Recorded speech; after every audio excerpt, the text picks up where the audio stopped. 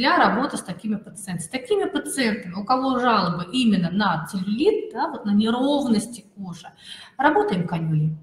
Канюля позволяет нам с вами вот эти все септы подрезать и выгладить, разгладить кожу. Кроме того, канюля а, у нас с вами не будет давать гематом, поэтому вот это такая, знаете, быстрая коррекция, когда через две недели на юг, да, там, ой, у меня через месяц отпуск, вот давайте что-нибудь мы там как бы сделаем, да, вот этот вот через месяц отпуск, когда мы понимаем, что а, классические методы, они там гематом, вы, поедете, вы поедете с гематомами только, то вот здесь, вот здесь на, на данный момент мы с вами а, можем взять препарат авазотоник, про который я буду говорить, и канюли мы с вами проработаем, а, да, все, лучше всего работают все препараты на игле.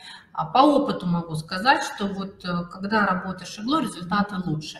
А от канюли дренаж наступает только на следующий день. И чуть поменьше э, как бы, результаты, когда мы говорим про снижение веса. Да? То есть вот игла, на, на игле препараты работают лучше, чем на канюле. Но у нас есть такие с вами пациенты, да, которым нужно быстренько раз, раз, раз, канюлька прошли, и замечательно все мы с вами можем